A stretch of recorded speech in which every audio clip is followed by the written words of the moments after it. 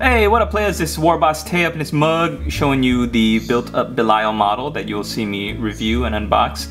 Just a heads up, if you don't have time to watch this whole video, a lot of flash, a lot of problems, um, some mold line, nothing to really scream Finecast, but uh, they, because they seem to be fixing up their, their act and uh, especially now since they're moving away from doing Finecast so much but just wanted to let you know this is what the finished model looks like. Please stay tuned to hear my complete review and unboxing on it and check out Wortiger. This is his video uh, for July painting challenge his appreciation video. Thanks for watching everybody. Laters!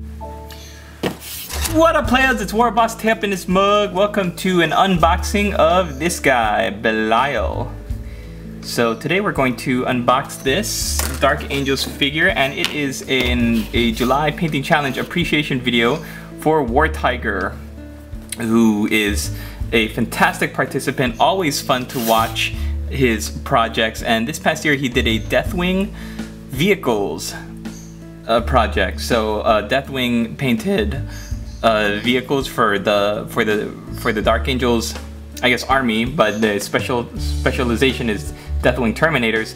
And uh, I, I, love his projects, I love his videos, I love his channel. So Wortiger, thank you so much for participating and for sticking out the month. And I always enjoy following your work. So this video is for you, buddy. So here we've got two sprues of this Belial figure and a base for him to go on. Now, uh, the Deathwing, in order to uh, get the most out of them. A lot of people say you should get this guy, Belial, and uh, he's a fantastic sculpt. I'm just kind of bummed that he's in Finecast. But we'll see how bad the damage is in just a second. So you've got these two Finecast sprues, like I said. And what I'm gonna do now is just clip him out and we'll take a look at everything close up. So here's the figure and we'll zoom in to see all the detail. You've got this awesome looking hooded uh, hooded head with a cowl with very cool looking pattern on it that you can paint up and what looks to be like three little electric electronic um, like viewfinders or yeah you don't even notice it on on the figure when it's painted up but they look pretty interesting because it's painted up in the same bone color that most of the rest of the armor is painted in. Lots of Dark Angels iconography. Looks like looks like they got their act together with Finecast. Um, because, and the reason why I say that is because every time before, if you remember, their uh, anytime Games Workshop would have to do skulls in Finecast the skulls are always really janky looking and dented in one side and they look really malformed. And here you've got two tiny skulls and the sculpts seem to be pretty spot on. I am not noticing any air bubbles or mold lines or mold shifts yet, which has always been a problem with me and Finecast. But I like the expression, very dour, grim, grim dark. And I like that the hood is hanging over the head at such an angle that if you hold it at a certain angle, if you hold it a certain way, then it gets covered naturally in shadow. And some of the older models, the cowls had to be really thick over the head. If you look at the old, um, some of the old plastic sculpts, they it's just hard to do in plastic, but I like the way that it looks like the Finecast hood naturally falls and creates this little fold over here on the side. It looks like natural cloth, and the robe in the front looks like natural cloth. Uh, Belial's got a bunch of keys, lots of symbolism uh, because of all the secrets that the Dark Angels have.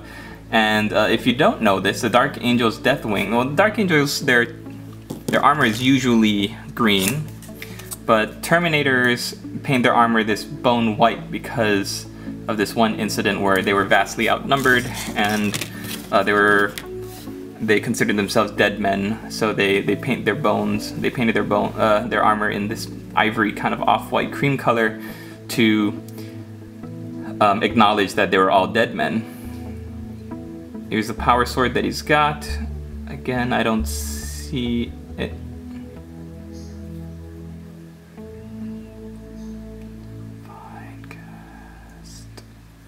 Ah!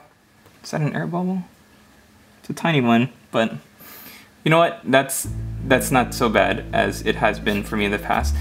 It's uh, I've had air bubbles like going clean through arms. Or man, just look at my Vlad von Carstein video if you want to see how bad Finecast. And look at any of my unboxing videos for Finecast products, and there's a lot of jankiness.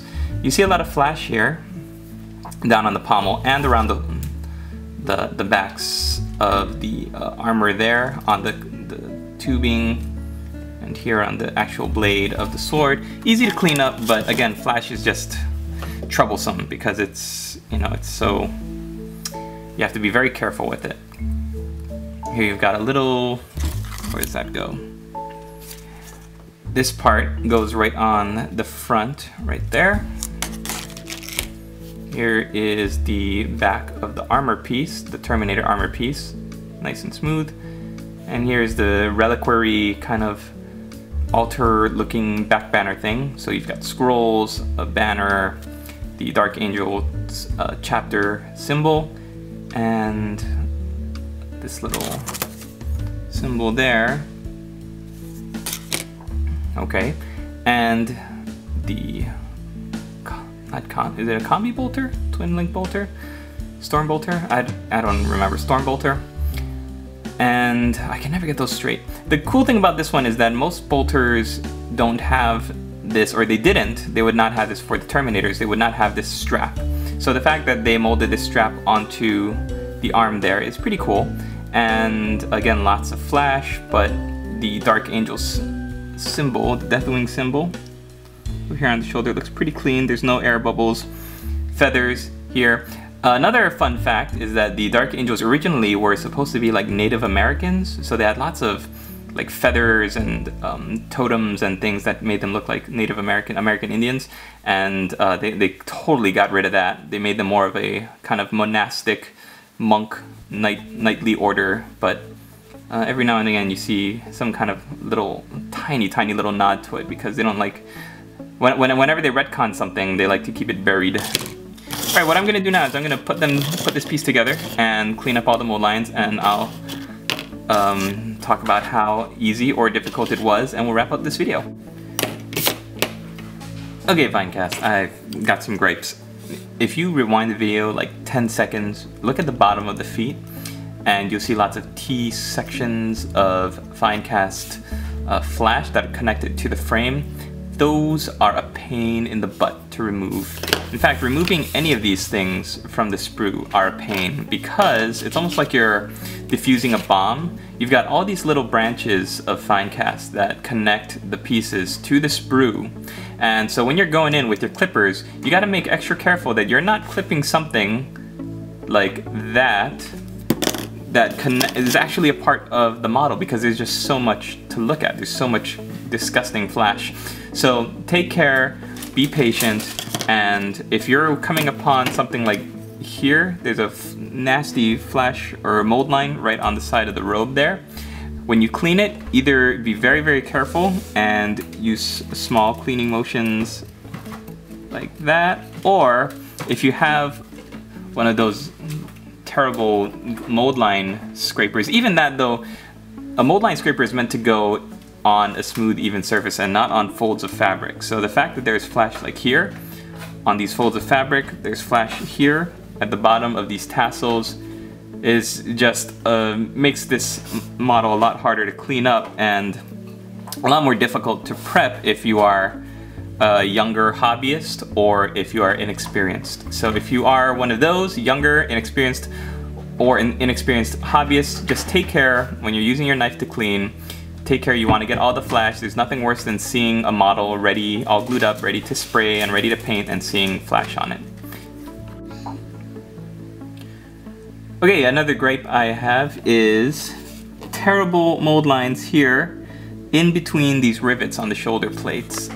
And terrible thing about them, if we can get focus, sorry about that, is the minute you try to scrape in between it, the rivet almost like without any pressure at all will come loose and leave this these horrible looking air bubbles. So I'm trying to work very, very hard, but or very intricately, but you've got these tiny little mold lines here in between these rivets.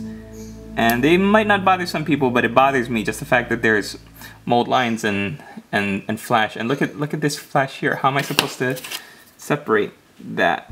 This flash that goes from there to here, all the way down to. See, if, if I was a, a new, inexperienced modeler, I wouldn't know what to make of this. And the fact is, you just got to go in flush with your with your hobby clippers here, and be very careful not to snip off the wings of the Dark Angel's pommel. And here on the other side, whew, it's like surgery.